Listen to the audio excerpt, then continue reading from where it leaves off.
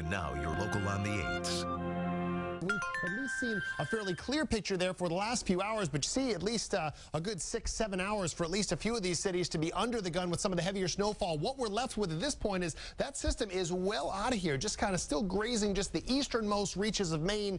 Beyond that, any snow that's hanging back across western or even central New York, central Pennsylvania, all of this now is kind of what's left. The backside of it, you're really dealing with the lake effect uh, influence there. So at least a few areas still picking up some, say, half inch per hour snow across the 90 if you're traveling in and around the Buffalo area, south uh, some areas that are, you know, certainly well versed in lake effect. Not a major lake effect system, but at least enough to cause some issues. And we see some of the other snow on the backside of it. We'll talk more about this coming up, but maybe a one to three inch snowfall, not that bad compared to what we just dealt with. Vivian? Well, of course, today on the Weather Channel and on our homepage, weather.com, we're counting down the top five coldest cities in America. Now, rounding out the top five, or top of the list, is Barrow, Alaska. And Storm Tracker Jim Cantore has a first-hand look at why this city was our number one pick.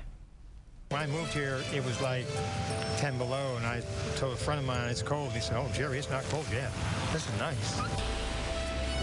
Some joke about it, but the cold in Barrow is no laughing matter.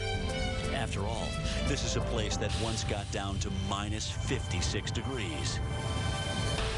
It's a dangerous cold that you can't take lightly. Nature is very unforgiving, and there's not too many